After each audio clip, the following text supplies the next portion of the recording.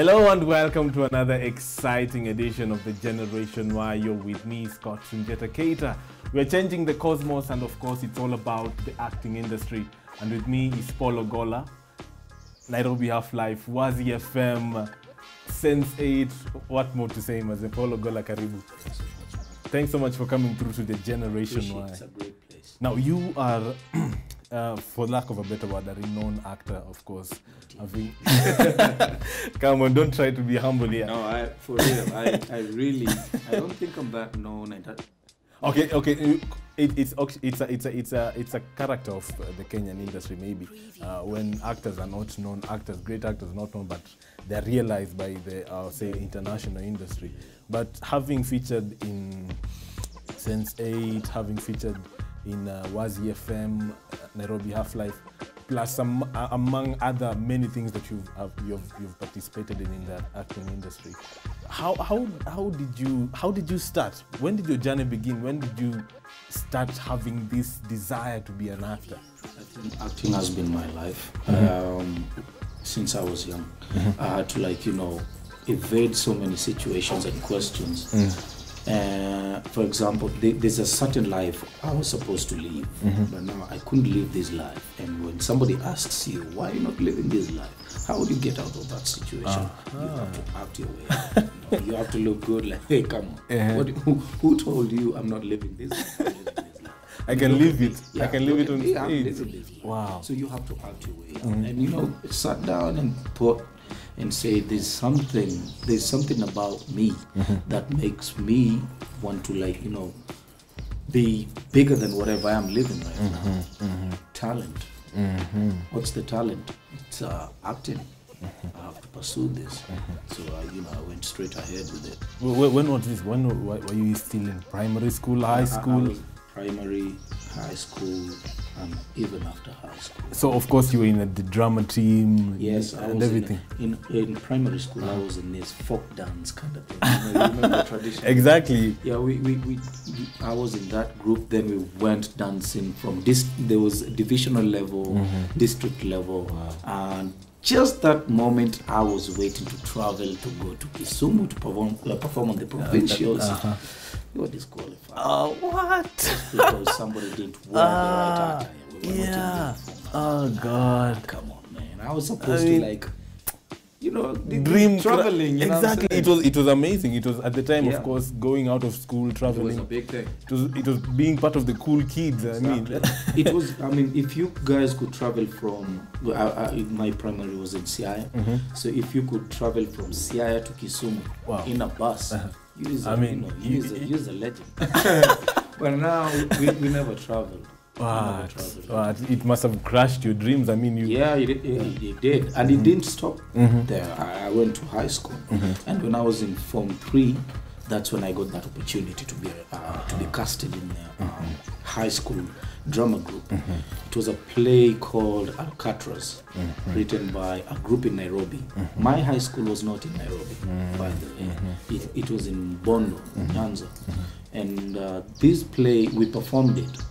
Then we reached the districts, mm -hmm. and I was like, you know what, guys, we're going to Nairobi. Wow. We're going to Nairobi to perform at the Bomas. No, was it Bomas of Kenya? Bombers of Kenya. Yeah, I remember one that. of the two. I was like, you know what? That was guys, for the uh, I think 2000 and 2006. Six, Yeah, six. Yeah. 2006. Yeah, yeah. And I was like, we're going to Nairobi, Let's do Wow. this thing. Wow. We did our thing. We performed the show. It was a great show. Alcatraz is a show about some prison. You know Alcatraz. Uh, Alcatraz. Yeah, the movie. Yeah. So it was a play about that prison and you know the activism and all that. Wow. So we were waiting for the results. So we went back to school. Usually a, a, Yeah, a tense a tense filled moment was? Yeah, one of the main cast. So whatever you do, I have to travel with you. exactly. So we're waiting for the results, and you know we're waiting for our high school to go to Nairobi, and we were number four. what? Yeah. number one and two, three were the only ones who allowed. To travel. Oh man. Another thing, I mean, it crushed my dreams, and I told myself mm. after high school, mm -hmm. I have to find this group that wrote this play. Mm -hmm. They're in Nairobi, right? -hmm. I'm, I'm, I'm, I'm, I'm No, to find the group that won the play. Yeah. that wrote the play. oh, that wrote the play. It's called Galaxy Plays. Uh-huh. So after that, I came to Nairobi. That's in 2007, and I found them. They are situated in um, Eastlands, Jericho, church called St. Philip's. I found them, joined joined the group, and uh, that's why I began. Wow, Like that's that was the first point, the first time you ever had a real experience in acting. Amazing stuff. Um, Yeah, it's, it's, a, it's a great story uh, considering the acting scene in Kenya. It's not really easy to make it, It uh, especially no. for an upcoming actor. Uh, but just again, looking at your story, how many auditions do you have to go to to just get to where you are? 70 auditions. 70 You know what that auditions. 70 auditions. Wow. I went to each and every auditions I heard of. Wow. And there are approximately seven auditions, and I qualified for, until date, Mm-hmm. I've qualified for only like seven. What? So, like 63 auditions gone just like that. I even went for Vitimbi auditions Ah, for you to know how, how rough it was. I went to Vitimbi, and there's one thing. Uh-huh. There's one thing that I always appreciate in this life. Mama Kayai herself, she told me yeah. after the auditions. Like you, you, you know what? I've seen your the way you're, you're acting. Mm. This is not a place for you. Mhm. She told me that. I didn't. I didn't.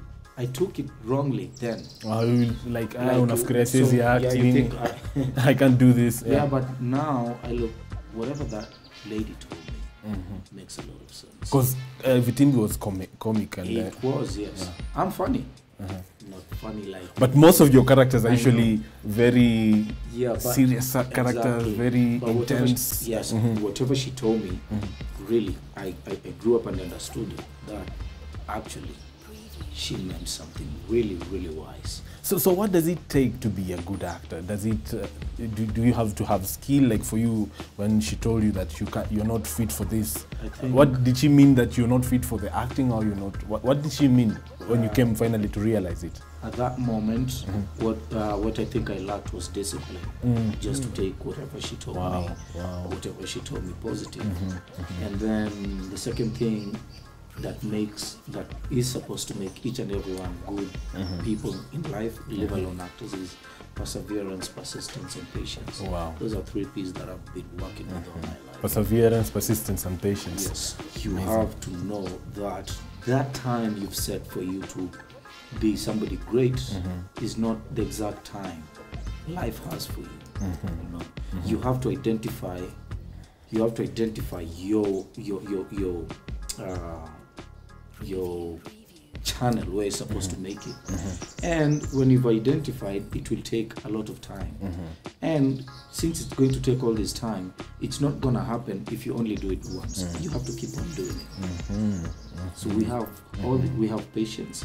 We have you keep on doing it. Persev- uh, persistence, persistence. and you have to persevere. Persevere. Keep keep going. Exactly. Keep going. And if you're going to lose hope, then don't start that process. Wow, Just stop. I haven't reached yet. I'm still struggling. I'm, Mm-hmm. I mean, the things that I um, people expecting from me. Right? Mhm. They think- Exactly. they think I'm. I, I, I'm so. By now, You should I be, yeah, yeah, yeah. I should be riding on a big car, you know, living on a, a mansion. Exactly. That's a dream I want for myself. I'm not gonna stop until I get that dream you think Mm-hmm. I should be living. So I'm still persevering through all that. And uh, yeah, I'm gonna make it. Exactly. What what you're saying is totally true because a lot of actors, young actors, are coming into the industry expecting, hey, I'll just get to the screen and the next minute I'm driving a Lamborghini or something, you know. That's the problem. So uh, have you have you had the, a challenge, say, um, uh, explaining to your friends, your relatives, the, the difference between being on screen and the reality of your life? Um, I don't think. I don't think even if we explain to them, Mm-hmm. they'll understand. I don't think they would understand it that way because most of the. Let, let me just start from the point you said. A lot of young actors are Yeah, coming. yeah, yeah. Why are they coming? Mm-hmm. They're coming to waste their time. They're coming to like you know, let me stay here as I wait for my results. Exactly. Let me come here as I wait for my college fees. It doesn't Look, this is a career. You know, this is a career. There's no way you can get out of whatever place you are from mm -hmm. to come and be a poster boy on the screen, mm -hmm. thinking you're gonna make it. You look, man. If you're not a doctor, you're not. It's true. If If I don't say, uh, let me let me try and be a doctor for a while. If you're not a surgeon, you can't take that patient over there. And you can't treat her. Yeah. Leave her alone. Yeah. Leave this profession alone. You're not an actor. Don't do it. Mm Everybody, every child is born with some kind of genius, mm -hmm. and acting is one of them. Mm -hmm. Talent. Being a doctor is a talent. mm -hmm. Acting is a talent. mm -hmm. Everyone is born. I mean, you, you, you can't you can't you can't gamble with it. Yeah, it's true. Yeah. It's So true. the only thing that will distinguish you from any other actor mm -hmm. is your discipline, uh, your repetition, mm -hmm. all that, and your skill, perhaps and your skill mm -hmm. But I say this: talent is nothing without discipline. Wow, amazing, amazing Yeah, stuff. so you know we have we have everyone and everything in this industry, mm-hmm. but we for you to be that one person, mm-hmm. there are aspects and principles you have to put in yourself mm-hmm. for you to go further. amazing stuff. How do you stay? How do you stay grounded? Uh, being where you are right now, of course, looking at your journey, all that struggle that you put in, how do you stay grounded? Because of course, it's uh, it's it's tempting to just say, "Hey, mazemi nimefika, I can do it. No one should tell me what to do." I mean, I understand. The the only way, I mean, it's you to know where you're supposed to go. If if I was coming here and you just told me to alight at uh, Lavington Mall, I can't stay there and start clapping. Uh, like- you know what? I'm home. I'm, No, I was supposed to get uh, Yeah. to TV, TVC. Yeah. I'm not here yet. Yeah, So why should I start clapping at the Lavington Mall? So until that day, I will reach uh, the destiny of my dreams. I will start clapping, and it dep- it depends with uh, the point you will start clapping uh, uh, from. I can start clapping from town where I was supposed to pick my matatu, or I can clap uh, at uh, Lavington Mall, or I can just reach here and say, "Hi, man, I, I reached I this place. And, yeah, yeah. yeah. I'm fine. Uh, I'm, I'm clapping now because I reached here. So it's just the the understanding yeah, of where am I going? I'm going somewhere. And am I there yet? No, I'm not. Even after Sense8, I'm not yet there because mm-hmm. Sense8 to me is like an audition to the international. World. Wow, yeah. I'm auditioning myself to the international world, mm-hmm. and for them to know that I'm capable of something. Mm-hmm. So I'm just praying so hard for somebody to like, you know, realize that there's somebody now uh, in Kenya who can work. Wow. Let let us get him Let us training, into that. and now let us put him in this particular platform because I am nothing mm. compared to whatever I'm doing. Amazing stuff. Amazing stuff happening here on the Generation Y. You're tuned into the Generation Y with me, Scott Sunjeta Keita. We'll be right back.